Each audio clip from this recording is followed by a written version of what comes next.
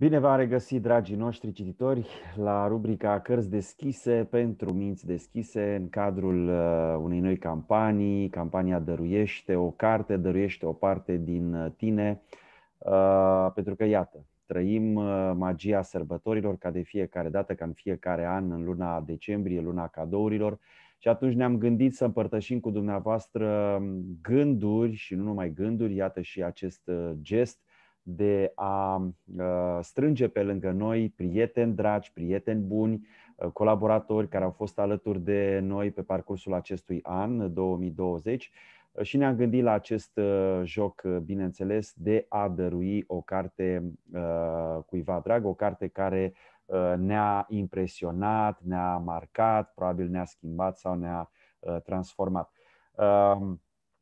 Astăzi alături de noi este Vlad Nicodim, psiholog, un prieten uh, foarte drag, alături de care am făcut uh, foarte multe materiale, foarte inter, multe interviuri despre uh, multe cărți și pentru că tot am uh, vorbit de această campanie, dăruiește o carte, dăruiește o parte din tine. Bineînțeles că ne-am gândit și la dumneavoastră, cititorii noștri dragi și fideli, toate titlurile din portofoliul editurii Herald în cadrul acestei campanii au o reducere de 30%.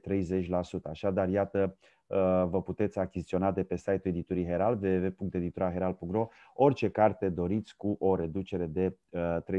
Uh, Vlad, uh, aș vrea pentru cititori, pentru cititorii Herald, cei care le-am povestit și cei care de altfel ne-au ascultat în materialele, în interviurile noastre, Uh, cum le-ai povestit tu atât de frumos despre cărțile pe care uh, le-ai citit. Aș vrea să le transmiți un gând, un mesaj acum la uh, încheierea acestui an 2020. Spun eu un an cu totul și cu totul atipic, pentru că am avut parte de multe provocări în acest an și să sperăm că le-am trecut cu bine cu toții. Și cum privim spre 2021? Sunt convins, bineînțeles, cu optimism, cu încredere, cu speranță că lucrurile vor uh, reintra pe un făgaș uh, normal, uh, din punct de vedere mai ales al socializării și al interacțiunii umane, pentru că asta cred că ne-a lipsit în 2020, interacțiunea. Dar, pe de altă parte, mi-aș dori eu, și nu doar eu, să începem 2021 și puțin mai schimbați, mai ales din punct de vedere uh, spiritual.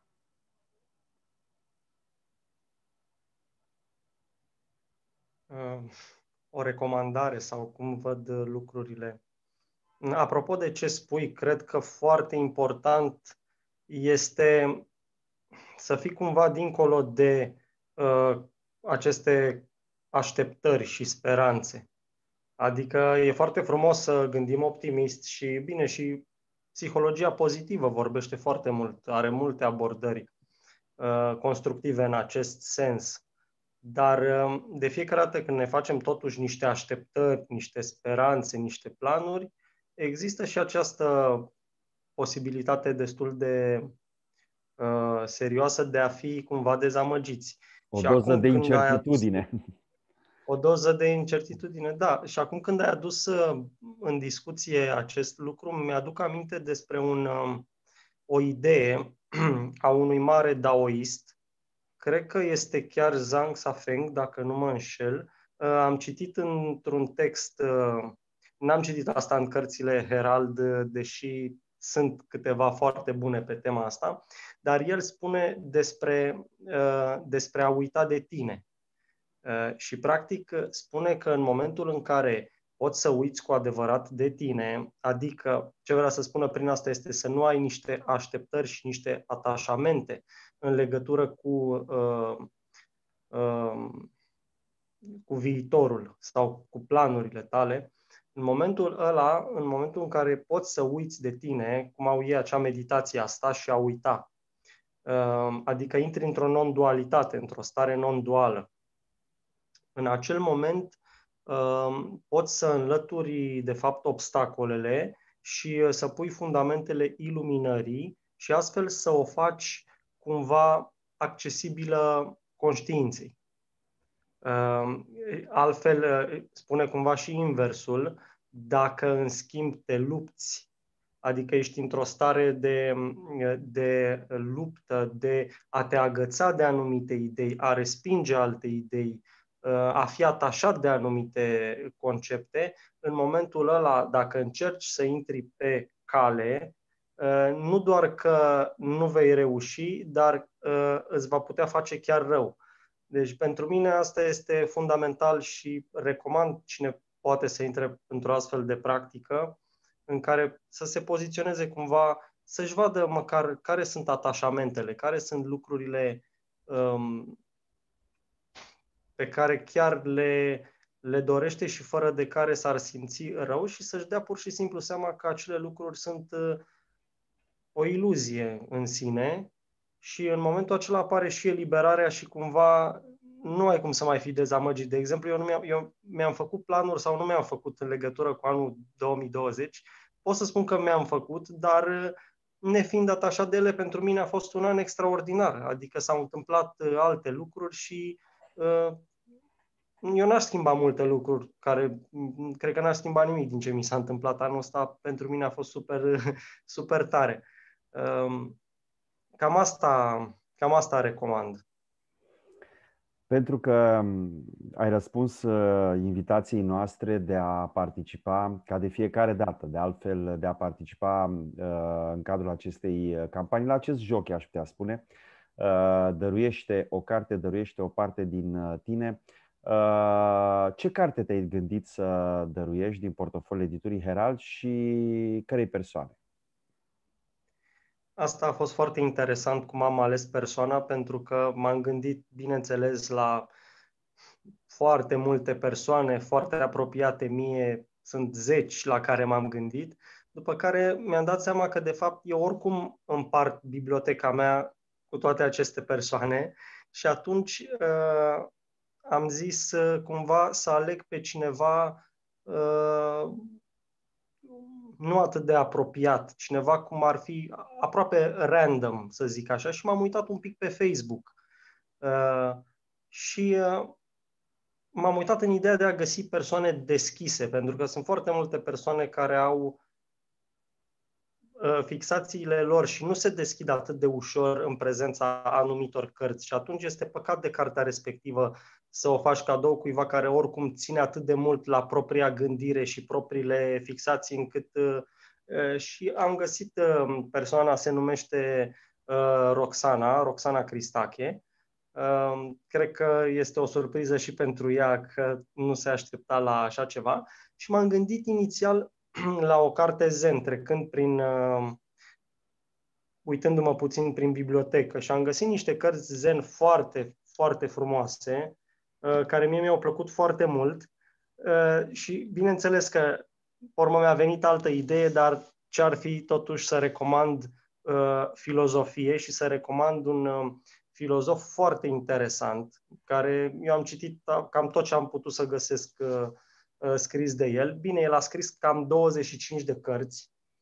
Um, a trăit între 1915 și 1900 73 și este foarte interesant că el nu a fost uh, genul acela de filozof uh, care a stat mult închis în propria gândire și a dezvoltat uh, un raționament rigid. Din contră, a fost atât preot, cât și a experimentat foarte mult din panoplia religiilor orientale și uh, am mai experimentat și cu psihedelicele. Deci cumva el a căutat pe toate planurile să experimenteze și să trăiască lucrurile pe care apoi să le expună printr-o filozofie, uh, o filozofie foarte uh, nuanțată, uh, nepărtinitoare, aș putea spune, și, um, cum să spun, care folosește un limbaj accesibil.